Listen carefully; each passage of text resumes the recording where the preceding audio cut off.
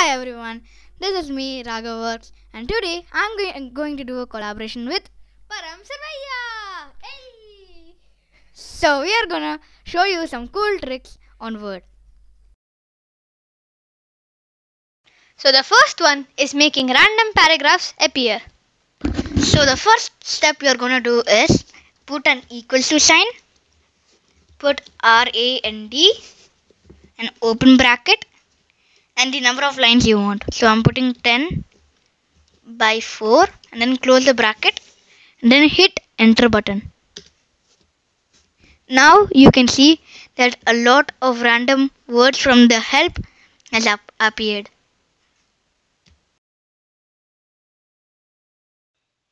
So the first trick is selecting the text you only want.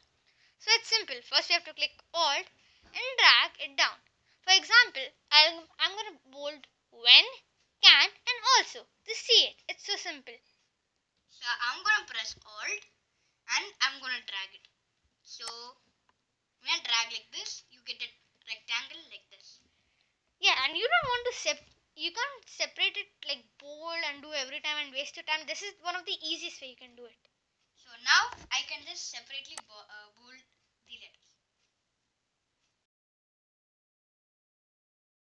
So for the third trick, we are gonna add the words which you use in daily life to autocorrect by itself. So the first trick, uh, first thing you're gonna do is go into File, and then you're gonna choose the Options bar. So it's gonna open a taskbar like this. So you're going to go into proofing and the autocorrect options. You're gonna click this one and then it's gonna show you a page like this. So I'm gonna enter a small word. So I'm gonna write RW and I wanted to replace it with Raghav works. So now you're gonna click add and OK now you're gonna go here. And now you can write the uh, uh, the small short uh, short form. So after typing it you can click the space bar and it will replace it with the word you wanted. So for the fourth uh, trick we can see how to change the uh, changed text to normal. We are going to use alt plus drag we'll bold. Now we want to change it back to normal. So it's simple. So we are going to select the text and click control plus space.